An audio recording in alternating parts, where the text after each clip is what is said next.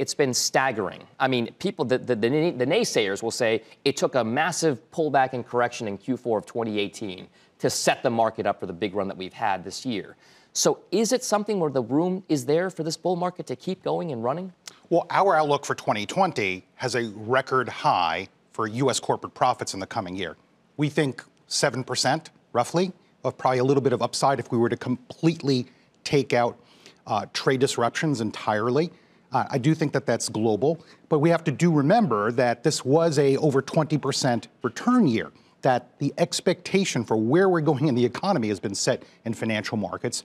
We think that the coming year will not repeat that full gain.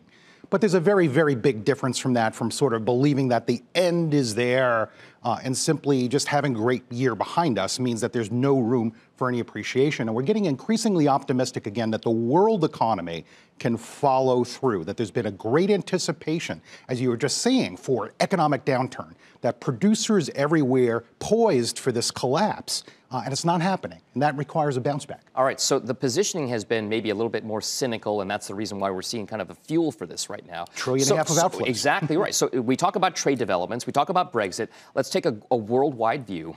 Where is the opportunity right now? If you were to say, hey, I got to put money somewhere, is it the U.S.? Is it abroad? And if it's abroad, where? Well, look, um, there's been a nice big valuation gap between the United States and international equities for a very long period of time. In some cases, that just reflects different industry composition, different growth opportunities. If we look at the 10 years ahead, valuation differences become much more critical over a decade, and we can see that non-U.S. equity returns, particularly emerging markets, are poised for stronger 10-year returns. I don't think that the coming year is telling us that this is going to be some dramatic difference, but you certainly have a lack of confidence in some other markets, whether this is Asia or Europe, and lower valuations, shades us to be a little bit more optimistic overall there. I think a big issue for us right now is there are bounce back sectors. Industrials had twice the return of healthcare in 2019. But if you look at over two years, healthcare outperformed industrials. And why is that? Industrials are cyclicals. There was the expectation of collapse coming into 2019, so they got deeply depressed. But bounce backs don't last forever. And what we really think about is driving long term economic growth. There are these unstoppable trends inside technology in terms of. Like what? Well, cybersecurity is just one simple example where it's very, very high up the list of absolutely critical spending for companies. Small segment within IT. Software, generally, applications are rising faster uh, than technology hardware. They're gaining share in the economy, the best applications. They may be expensive, they may be volatile, but they outperform the long run. Investing in longevity, the amount of spending for a globally aging population is going up in healthcare, where we don't necessarily have the political issues just in the United States. These are examples, uh, again, of industries that are outperforming. They're not just bouncing back.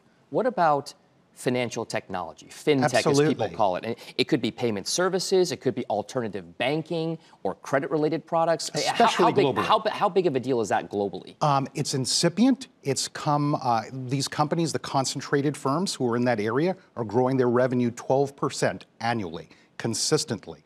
And if you think about that revenue growth rate, how far, how much faster that is than the world economy. This again is something that doesn't have a 40-year track record behind it, uh, but we definitely overweight and find companies in that area quite compelling for long-term investments. All right, and, and also, 2019, uh, uh, an interesting year as it has been most recently in the past decade, a bull market for stocks and a real bull market for oh, yes. bonds. I, I mean, to the point where we have negative trillions of dollars of negative yielding 13 debt. trillion. Right. Uh, uh so where is it? I mean, is it stocks or bonds? Which is more overvalued? And then where would you kind of tilt towards in 2020?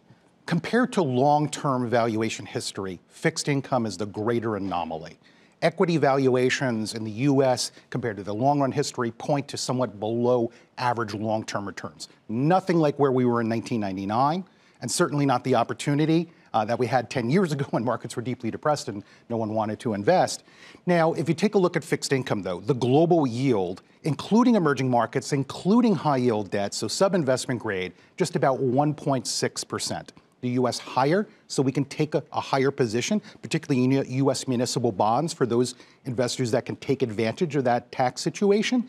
But overall, we're underweight fixed income, we're overweight global equities because of these relative valuations. And the fact is that we don't believe that we're at the end of an economic expansion.